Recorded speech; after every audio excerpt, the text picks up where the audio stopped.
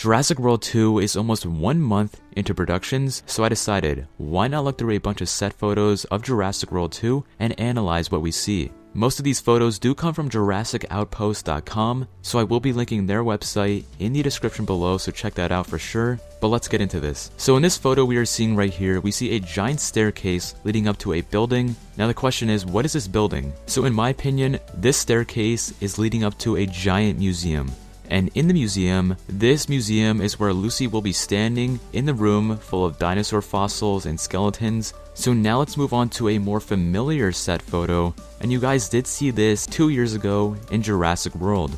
These clearly are some of the props that were used in Jurassic World, so this most likely will be the scene where they do return to Isla Nublar and clean up Jurassic World. Now in my opinion, this scene will be absolutely epic. Just seeing all the destruction that the Jurassic World Isla Nublar incident left over would be absolutely amazing to see, a lot of nostalgic feels in this scene, and it gets even more epic. And to give more proof that this may or may not be the return to Nublar scene, we do get a picture here that says Lagoon Beach on it, and in Jurassic World, what creature lived in the lagoon?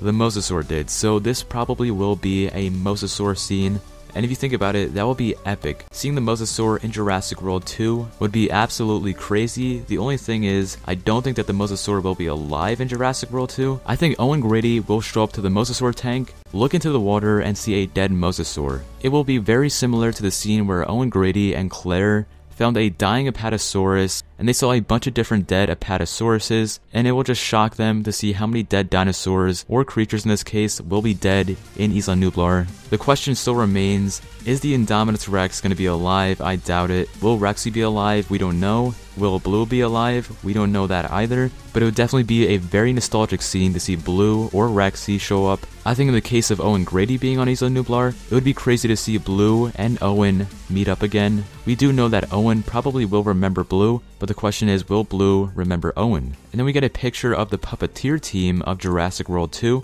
Now the question is, what are they creating? We know that they are making an animatronic, but what dinosaur will it be? That's a question that I cannot answer. I don't think anyone can at this point unless you are working on the set of Jurassic World 2. But this is all amazing news. It's great to see how many set photos there are of Jurassic World 2. And I like the fact that we are getting a few different pictures of broken down Jurassic World props. But leave your thoughts in the comment section below. What do you guys think of all these photos? And what do you guys think that these puppeteers are making in this animatronic? Maybe a baby velociraptor, or maybe something giant like a Tyrannosaurus Rex. We don't really know at this point, but leave that all in the comment section below. And if you guys are new to the channel, please subscribe, and as always guys, leave a like, and have a nice day.